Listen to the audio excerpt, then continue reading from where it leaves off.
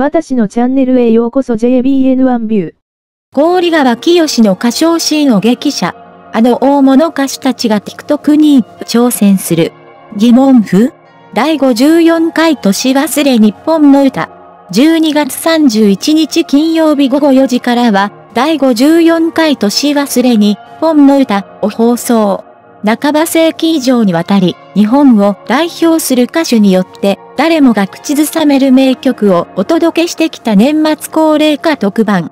今回は2年ぶりの有観客で、これまで以上に視聴者を裏切らない、絶対に外さない名曲をたっぷりお届けいたします。さらに、あのザ・ドリフターズの出演が決定。加藤茶、中本浩二、高木ビューの3人がドリフの大ヒット曲を熱唱します。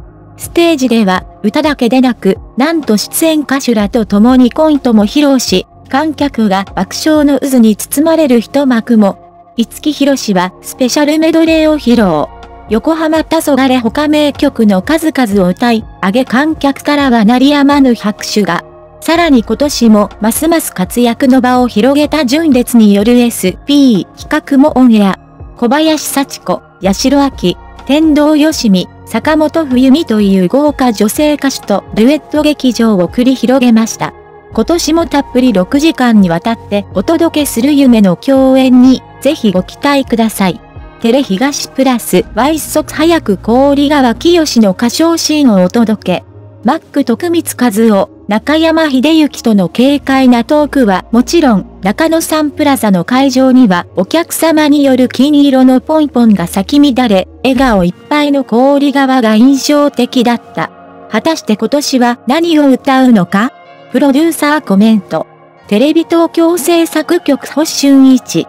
54回という自分の年齢45歳よりも歴史が深い番組を今年も担当できることになり、身が引き締まる思いです。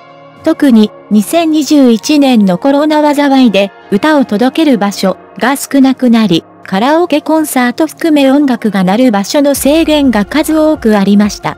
その年の大晦日、素晴らしい歌手の皆様に会場に集まっていただく予定です。一年の思いを込めた熱唱を視聴者の皆様にお届けできると思います。12月31日金曜日午後4時からは、第54回年忘れに、本の歌を放送。どうぞお楽しみに。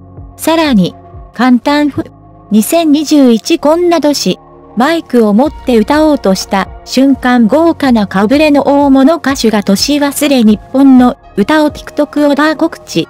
豪華な現場でステージ衣装の皆さんに TikTok 告知をご協力いただきました。人気の洋楽 BGM に合わせて楽曲紹介やマイクを持って歌おうとした瞬間に突然物が消える TikTok ならではのエフェクトなどを使いこなし、あの手この手で番組を告知します。